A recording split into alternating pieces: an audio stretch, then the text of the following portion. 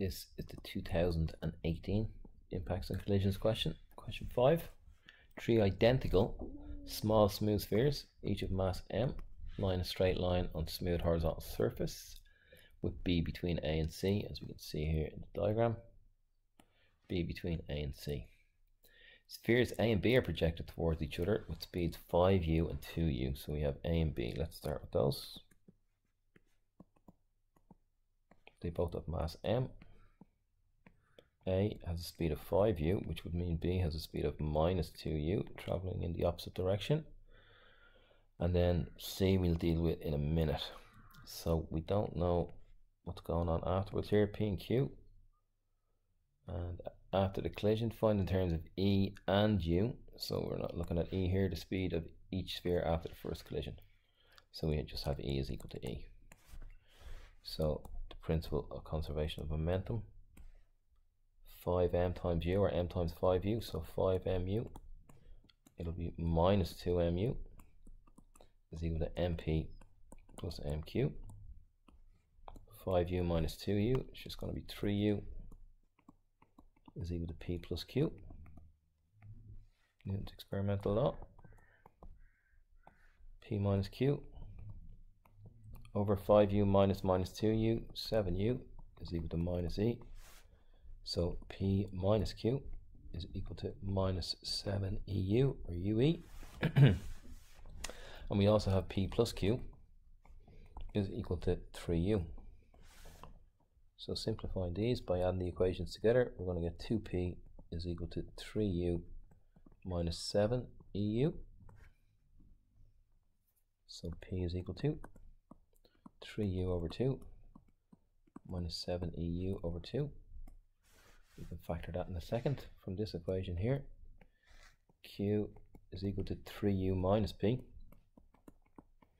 So that's going to be equal to 3u minus the p's, so minus 3u over 2. And then it'll be plus 7eu over 2. So Q becomes 3u minus 3u over 2, so that's 3 minus 1.5, so it's just 3u over 2 plus 7eu over 2. So you want to factor out the u's, or here we could factor out u over 2. That would leave 3 minus 7e. And in q, we could factor out again u over 2. And that would leave 3 plus 7e. And part two, show E is greater than 5 over 7. So what other information? After the collision between A and B, there is a collision between B and C. So B has to catch up with C. So the velocity of B has to be greater than the velocity of C for it to beat another collision. So that's what we're looking at in the next part. So what's the collision of the third sphere C? For you. So 3u over 2, I'll multiply it out actually, 3u over 2, this guy, the velocity of b, plus 7eu over 2 has to be greater than 4u. So bringing 1.5u to the left, I'm going to get 7eu over 2 would have to be greater than 4 take away 1.5 is 2.5, 5u over 2. Now we can multiply by 2 and divide by u. So you can see 7e has to be greater than 5 e has to be greater than 5 over 7. Let's have a look. Show that e is greater than 5 over 7.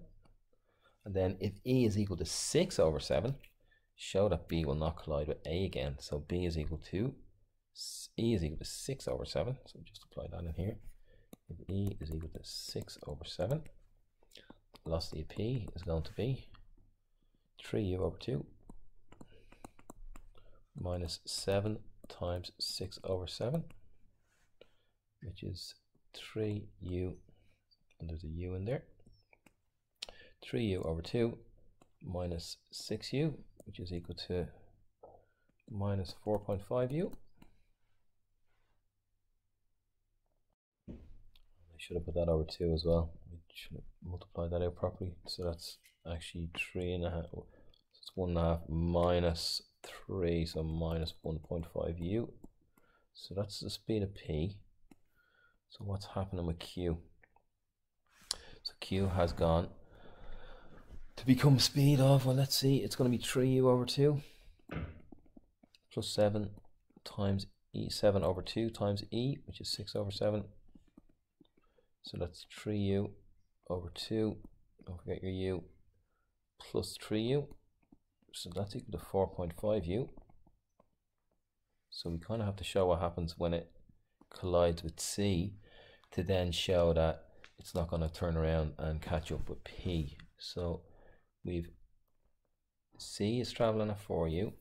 We now have 4.5u for b. They both have mass m, m, and m. So we have 4.5u, 4u, p and q. And we have e is equal to 6 over 7.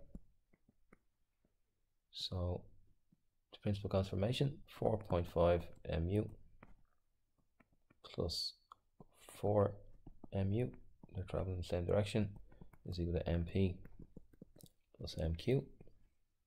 So we're going to get 8.5 u is equal to p plus q.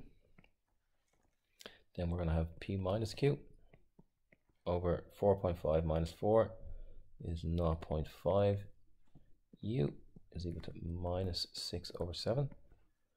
So 7p minus 7q is equal to minus 3u. And if I multiply this one by 7, 7p plus 7q is equal to 56 and 3.5. 56 and 3.5 it's 59.5u.